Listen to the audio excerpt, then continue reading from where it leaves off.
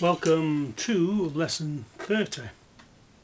The last lesson we eventually got into a bit of guitar playing. Well, not playing, but playing, uh, putting the theory into practice. Let's go back here. It's uh, Saturday 19th of July 08. A little recap on the last lesson before we continue a bit with the old guitar.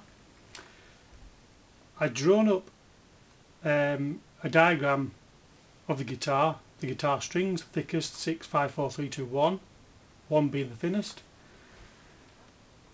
We number the frets and on this green position we add the 8th position, the 8th fret. Now we've moved all this pattern down the guitar towards the headstock. So basically we have come, hang on,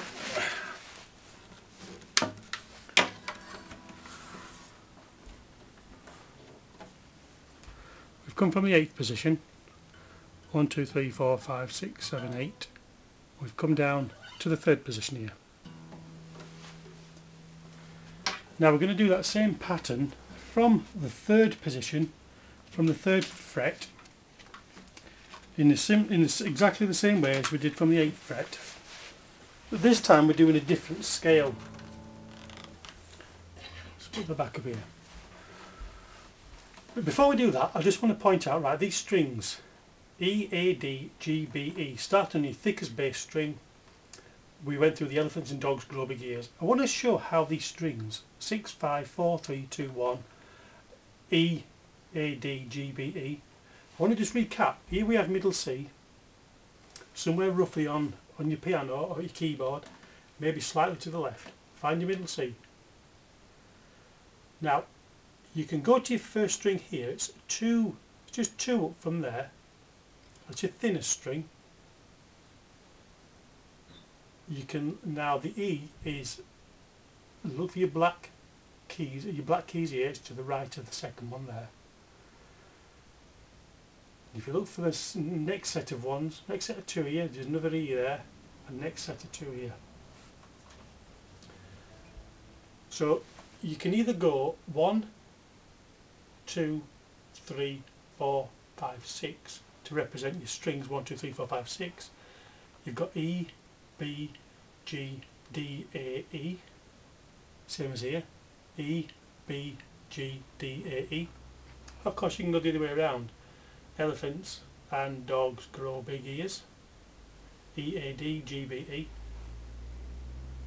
If you've once you've found two E two E's below this E here, in fact, you can actually count them up. If you include that as well, 1, 2, 3, 4, 5, 6, 7, 8, 9, 10, 11, 12, 13, 14. Count 15 down to there. Basically, I just wanted to point that out, how it covers the strings. We're covering two octaves incidentally, from here to here to here. Will Your guitar will go a little bit higher It'll go higher from here, open, open first string. So forth. So we originally, on lesson 29, we started on fret number 8 on the last lesson. This gave two octaves of C major scale. This time we're going to start on fret 3 this will be the G major scale times two octaves. So let's look on here. I'm gonna I'm gonna show this on guitar in a minute.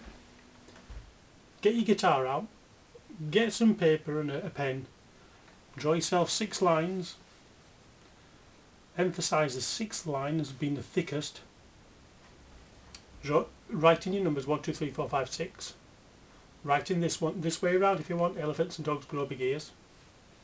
And just do this pattern starting say you can start on the second fret but just copy this one third fret. Just copy them. Do these different colours. Once you get to your fourth string there on the fifth fret do that different colour. Just copy this. Pause it on YouTube and write it out. Practice this. So we're going to do the G scale now. Let's look down here. This is the G scale. Natural G to G. I've got G, G, A, B, C, D, E, F, G. If we apply the tone, tone, semitone structure to it, we go tone, tone, semitone, tone, tone, tone. We end up on an F sharp, semitone. There's the F sharp, so it's a G major scale now. So when we're doing this, this represents, starting from the G, tone, tone, semitone, tone, tone, tone, semitone. So we're back to a G, tone, tone, semitone, tone, tone, tone, semitone.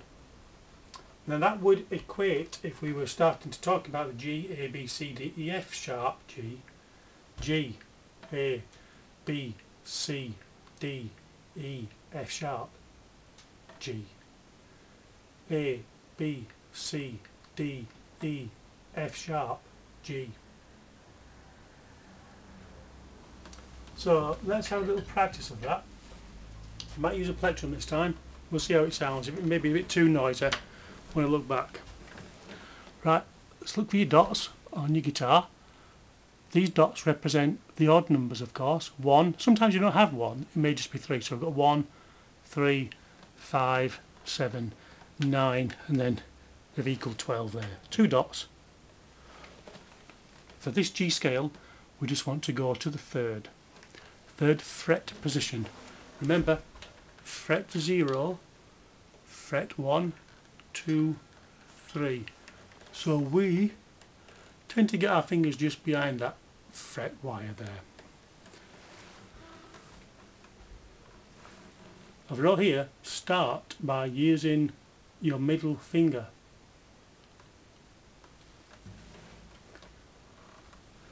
Okay, let's go on here then. I'm hoping that you can see this and. I'm just going to put the light on.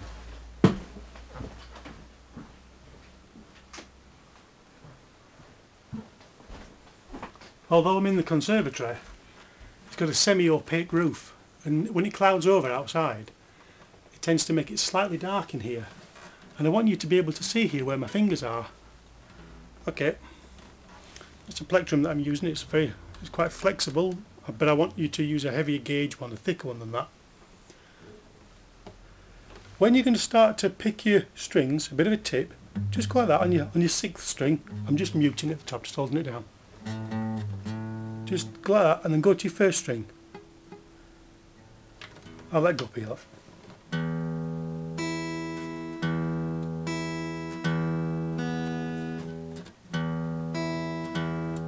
Gets you feeling that distance between them. Right, let's go to the G. Third fret. Third fret. So we've got G, a B C D E F sharp G A B C D E F sharp G. You could practice coming backwards too if you want. G F sharp E D C B A G F sharp E D C B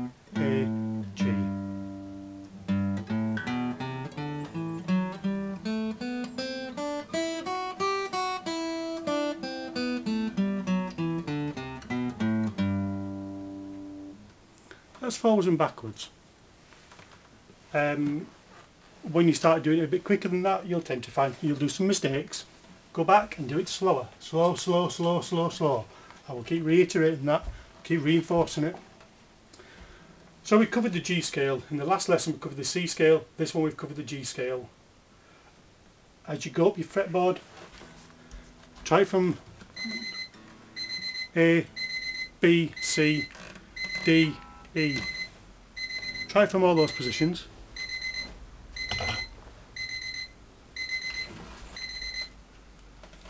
It's exactly the same pattern and you're just going through all these scales.